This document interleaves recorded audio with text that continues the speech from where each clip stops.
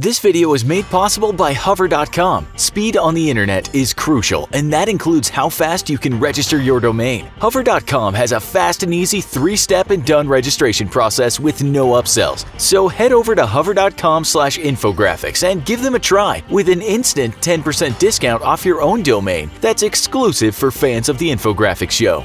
We hate to point out the obvious, but the G in 5G stands for generation. The generation that came before it, 4G, is not quite global, but it covers 88 countries according to the website OpenSignal.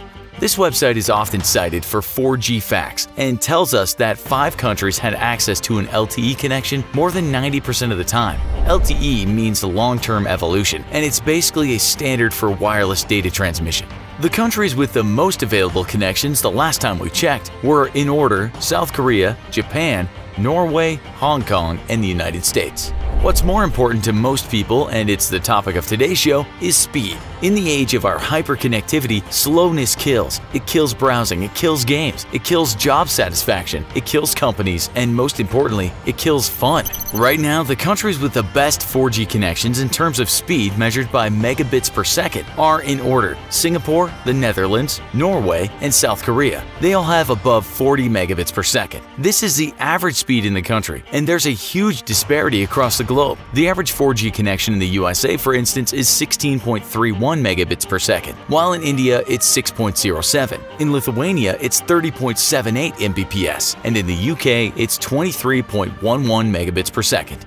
Asia and Europe are the continents to beat for fast speeds, and that's because many countries have the best LTE infrastructure, although quite a few countries in Western Europe don't have this great infrastructure and that's why they have slower wireless speeds. It's also said that some countries in Asia and Europe developed 3G technology early, so they had good infrastructure already. OpenSignal also tells us that a fast connection also depends on if a country has adopted new 4G technologies like LTE Advanced, how densely networks are built, and how much congestion there is on those networks. So if you have a country that has developed LTE advanced infrastructure and has enabled devices and not much congestion, you have good results. That's why connections are so much superior in Lithuania than they are in the country which houses Silicon Valley. So if you're in parts of Asia, not all Asia for sure, or in parts of Eastern Europe, you can almost be sure to get a wireless connection and watch this video without any interruption. That's not the same for you guys in the USA, with one tech media outlet calling the country's wireless connection extremely and embarrassingly slow.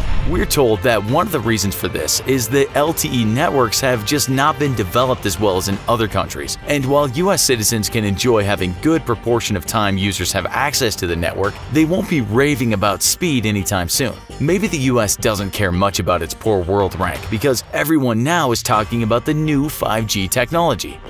The question everyone is asking, of course, is how good will 5G be? And as many of our viewers are from the US and have just heard this disturbing news about a fairly bad 4G connection, they might be wondering if they'll also get a raw deal when it comes to 5G. Will 5G mean the end of annoying stops and starts, or are Americans and some parts of the rest of the world destined to have slow speeds for years to come?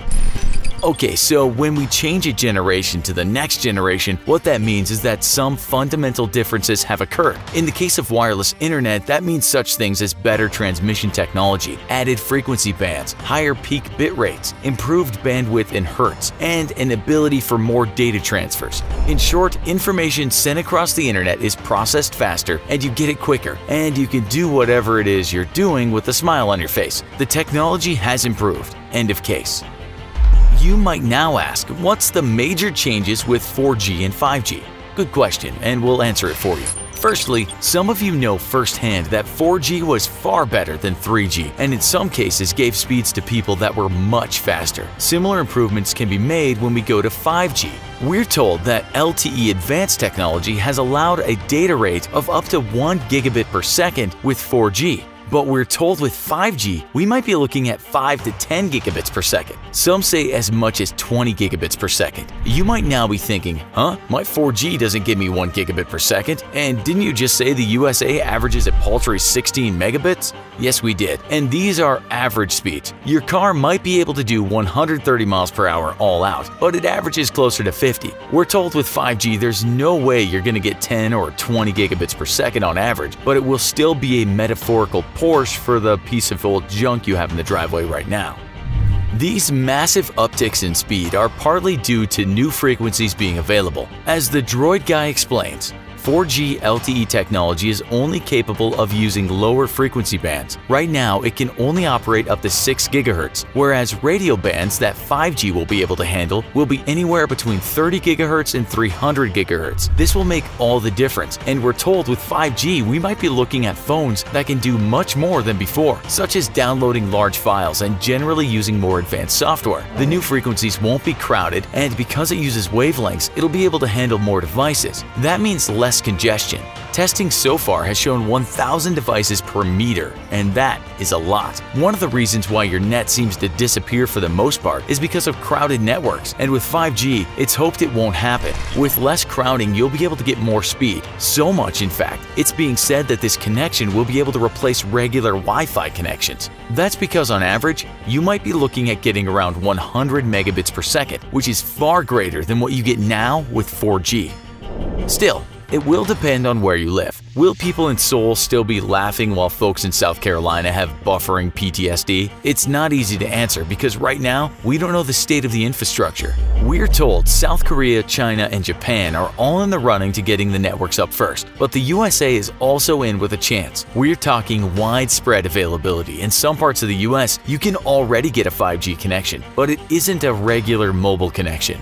There is limited 5G connections in some other countries too. We're told we're on the brink of a full rollout happening and in 2020, things will be well on the way. By 2024, it's estimated by some experts at least that 40% of the world will have 5G. With so many people gaining access to 5G, getting that perfect domain name you've been thinking about right now is more important than ever. Head over to hover.com and register your own domain today. Hover's mobile experience is super smooth. You can even check out with Apple Pay to make a quick and easy process even faster. They've got great alternative extensions like .me or .expert, so you can be sure to get a domain that's personalized and perfect just for you. And with Hover's Connect feature, you can link your domain to just about any website website builder with just a few clicks, so you won't ever be stuck with one host. Go to hover.com slash infographics and get 10% off your domain name today just for being a fan of the Infographics Show. Are you looking forward to this? Do you think it'll be a game changer? Tell us in the comments. Also, be sure to check out our other show, Most Expensive Domain Ever Sold. Thanks for watching, and as always, don't forget to like, share, and subscribe. We'll see you next time.